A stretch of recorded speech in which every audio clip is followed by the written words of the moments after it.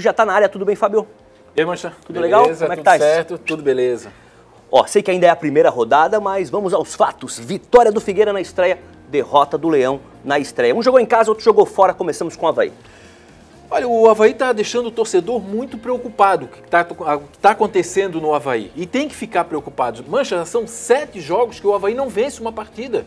Sete jogos, está chegando em maio e não tem praticamente uma equipe formada. E aí a gente não entende as entrevistas que são dadas. Vamos supor, justificaram o sexto lugar no estadual, a má campanha no estadual, porque a Série B era prioridade. A prioridade é subir, o próprio Betão falou na sexta-feira. E que prioridade é essa que o time vai lá e poupa jogadores? Quem é o Havaí? Que elenco tem o Havaí para estar tá poupando jogadores? O Corinthians, por exemplo, jogou com o time titular ontem e no meio da semana vai jogar Libertadores. E tem um detalhe: esses jogadores descansaram 10 dias, tiveram 10 dias para se recuperar fisicamente e ontem o Claudinei justifica o seguinte, no sábado, ah, estamos poupando os jogadores e vamos reagir. Então, situação muito preocupada, muito preocupante, está na hora do Batistote dar um soco na mesa e tomar alguma atitude, porque fica esperando pela Copa do Brasil e se der uma zebra? E se o Havaí não passar, como é que fica? Vai ter que recuperar em casa na Série B.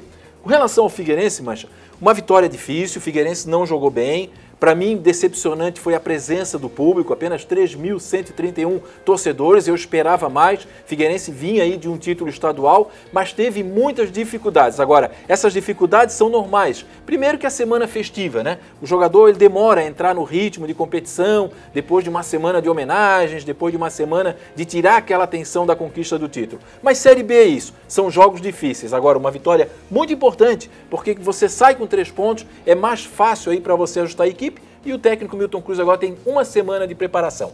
Obrigado, Fábio.